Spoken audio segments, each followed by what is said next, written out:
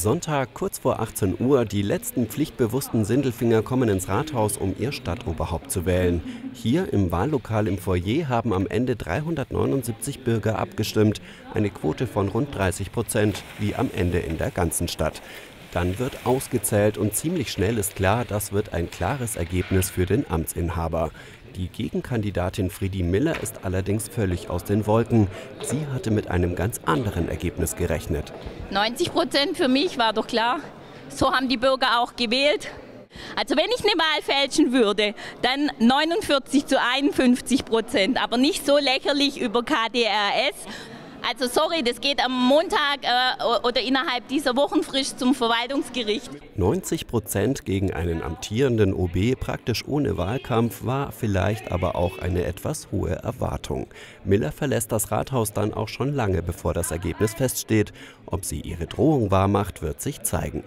Bis der Gewinner der Wahl sich sehen lässt, vergeht fast eine Stunde. Dann ist das vorläufige Endergebnis da. Es empfehlen aus Frau Miller 588 Stimmen oder 4,36 Prozent.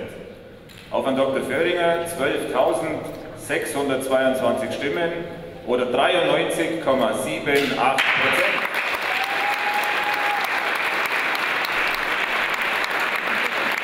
Es folgen eine ganze Reihe Glückwünsche für den neuen und alten Oberbürgermeister Bernd Föhringer, der sich in den letzten Wochen wahlkampftechnisch mächtig ins Zeug gelegt hatte.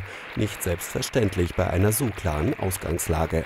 Ja, die Lage war dieses Mal in der Tat äh, sehr, sehr speziell. Es war insofern auch ein Wahlkampf, wo es vor allem auch um Wahlbeteiligung ging. Ich war viel unterwegs, ich war auf Infoständen, ich war morgens an den S-Bahnen, am Busbahnhof und habe geworben, dass die Menschen zur Wahl gehen. Ich freue mich, dass die Wahlbeteiligung auch bei dieser speziellen Konstellation sogar höher war als beim letzten Mal. Auch insofern sehe ich das auch als äh, klaren Vertrauensbeweis an.